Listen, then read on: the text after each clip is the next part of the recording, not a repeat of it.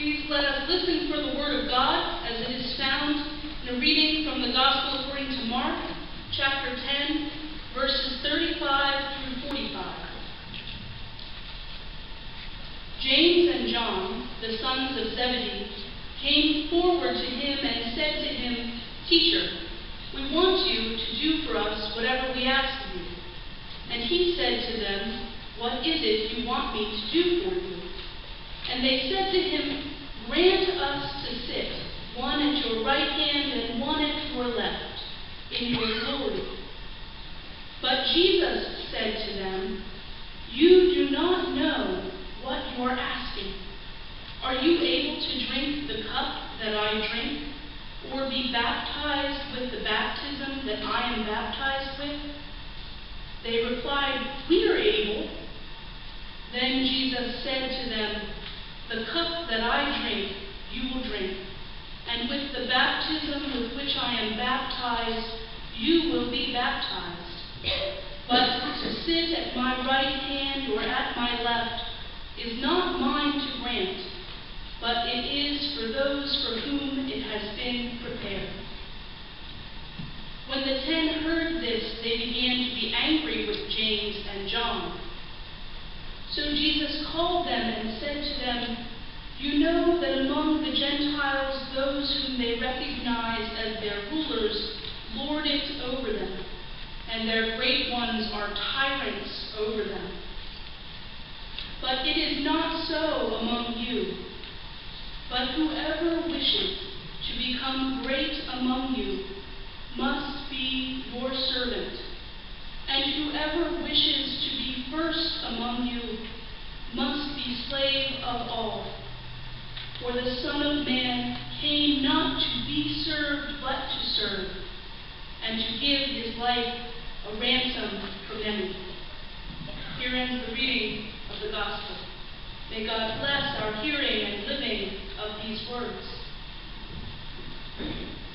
This morning, as, as Reverend John mentioned, is a, a special Sunday for us, a special service, the Children's Sabbath, which is a national observance. There are houses of worship all across the country that are participating in this program that is organized and instituted by the Children's Defense Fund, an organization whose sole purpose is, uh, is to prevent suffering of children around the world. James and John, in the passage uh, from the Bible for today, they're looking for glory and good times, and Jesus asks them if they're prepared to drink the cup that he drinks and to be baptized with the water that he is baptized with. In short, he asks them, are they prepared to be servants? There are important connections that we're making today. Uh, between that story and Children's Sabbath, which looks at the ways that poverty harms children and the anguish of parents who, who struggle every day against poverty and against any number of challenges that children in particular are vulnerable to. The needs of children in America, especially the needs of children in poverty and those who are marginalized, they, they call out to us. And today we take a moment to recognize that, to hear those calls, and to get a little bit uncomfortable for what that means for us and about us. The Children's Defense Fund, when they send out resources to us to help us put this service together, this year they were focusing a lot on, on a quote by Martin Luther King Jr., and so I'd like to share that with you. Now, that quote is Everybody can be great because anybody can serve. You don't have to have a college degree to serve. You don't have to make your subject and verb agree to serve. You only need a heart full of grace, a soul generated by love. The youth who will stand up here momentarily and present their message for you this Children's Sabbath, they don't have college degrees, uh, but they're here to, to serve and to ask all of us to be servants. And so what we did, what we'll be sharing with you this morning, is during Sunday school class, the middle school class and the high school class, we got together and we sat around and we brainstormed. You'll notice in your bulletins there's a prayer there um, that, that begins, Lord, make me a channel of your peace. And we looked at that prayer and we asked ourselves, what, what does that mean? What does that look like in real life? And so now I'd like to invite some of our youth forward to share some of the ideas that all of the youth together came up with uh, in our Sunday school class. I hope that you will hear their words and, and take them to heart. Thank you.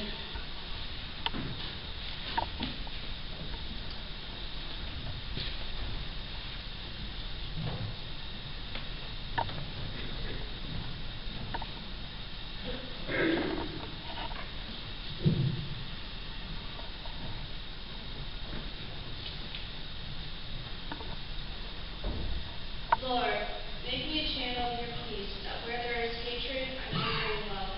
There seems to be so much hatred in the world today. It's easy to despair that things won't ever get better. But there are things that people are doing that show us what bringing love looks like. Like the students on college and high school campuses who have created maps so that trans students can find single, single stall, ungendered restrooms in places where they cannot have access to a safe restroom otherwise or like the Silent Witness Peacekeepers Alliance. They are the people who come to LGBTQ events, like the Pride Festival, and create a non-confrontational buffer to protect people from protesters, blocking them from view with large rainbow umbrellas. Where there, where there are those who publicly promote hate, these students and silent witnesses are bringing love to those who are cast aside just for being who they are. Lord, make me a channel of your peace, that where there is error, I may bring truth. We all make mistakes, but there is a difference between making a mistake and purposely obscuring the truth. When we're kids, we're told that telling the truth is important, but it seems like by the time they grow up, many adults disregard this. And not only is it wrong, it's dangerous. For example, the mislabeling of children coming across the border as gang members or criminals instead of refugees seeking sanctuary from abject poverty and violence. Or the hateful words that are said about Muslims and other religious minorities. These errors make children and other marginalized groups even more vulnerable. We can be bringers of truth by correcting these errors. We can spread God's love by seeking the truth, checking our sources, checking our own prejudices, and calling on those in power to tell the truth. Lord, make me a channel of your peace, that, that where there is despair, may bring hope. When we talk about, at, when we were talking about this at Sunday school last week, one of the examples came to mind again and again, and it was poverty and homelessness. There are kids just like us who didn't wake up in a home this morning. Maybe they woke up in their family's car, or on a friend's couch, or in a shelter, or on a park bench. Or maybe they ne- didn't get any sleep at all. They have to wonder every single day about where their next meal is coming from, or where they will spend the night. When you are hungry and cold and you can't focus on anything else, all your energy is spent on trying to meet those most basic needs. So how can we bring hope? We can continue to donate to organizations that help people who are in poverty or homelessness. Organizations like New Hope Ministries, the Central Pen- Pennsylvania Food Bank, New Digs, and Capital Area Coalition on Homelessness. We can help to make answer breakfast at gathering the spirit for justice, and we can change the way we think about poverty and homelessness. We can bring hope to when we stop demonizing poor people, when we realize that living in poverty is not a moral failing. Let's bring hope to the children who are living in poverty and homelessness. Lord, make me a channel of your peace, that where there are shadows, I may bring. When we came to this part of the prayer, we thought of refugee camps.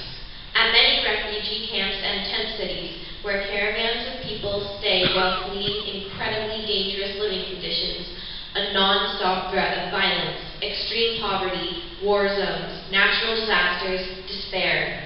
There is no electricity, so children and families are living in the shadows, literally.